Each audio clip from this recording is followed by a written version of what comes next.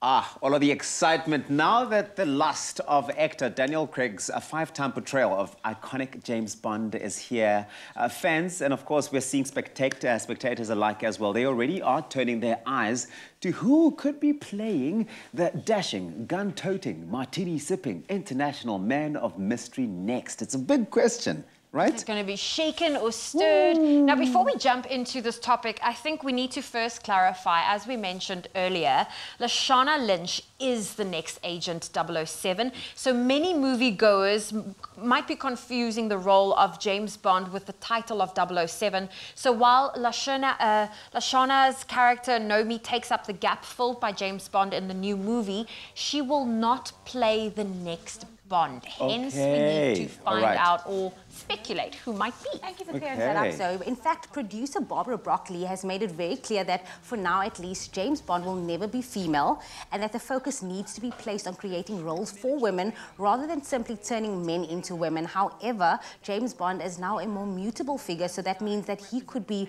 non-white and non-British. Okay. Opening up the field so he's fluid in that way. Yeah. He could be played by any any man. Now, taking that into account, then we also need to uh, start keeping in mind that the role elevates actors to A-list status. I mean, that's going to happen. Like, you can't avoid that, rather than the film being driven by an A-list actor. And it's a beautiful thing to know that it's been able to build those stars in that way. And producers will also want to take the opportunity to, you know, sort of introduce the franchise to a younger audience and evolve it in that way so that its popularity can then, uh, you know, translate onto the next generation, as it has over generations, right? Right. Okay. Well, now the speculation can begin. So first up, a contender whose name is top of everyone's predictions list is Idris Elba. Mm. Now, the man simply oozes cool. He is so dapper, and he really offers a compelling case as he would be the first black actor to take on this career-making role. He is, however, very well established, and at the age of 49,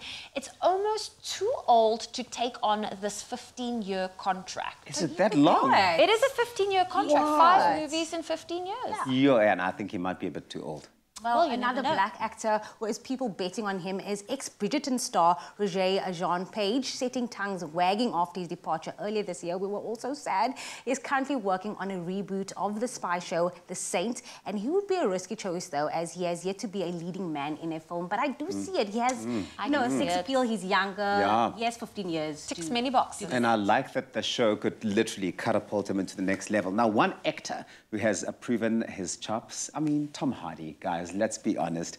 Uh, he's led in action films The Dark Knight Rises and Mad Max Fury Road, with Tom obviously now in his uh, mid-40s.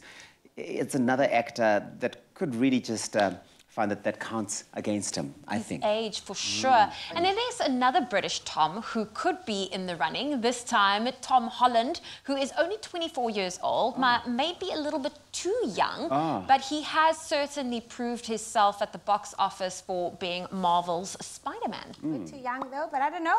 Uh, well, the last of our predictions is British-Malaysian actor Henry Golding, Ooh. who won hearts in Crazy Rich Asians and showed his capabilities for action in this year's Snake Eyes, although it did not perform well at the box office, we can certainly see this one as well. Mm. Yeah, no, I think that we can all speculate all we want, but producer Barbara Broccoli says, uh, you know, jokingly that uh, she's in denial about Daniel Craig's leaving uh, the franchise, and, uh, you know, has announced that the team will not be putting to the major casting until 2022 when the time comes. So as to, uh, you know, give Daniel the appropriate lust, Hoorah! And he so well deserves, deserves it. it. Well done mm. to him. So, who do you think stands a chance of being cast as the next James Bond? Let us know your thoughts on our social media using that hashtag Expresso Show. And stick around because there's more 007 takeovers coming up on your Feel Good Breakfast Show.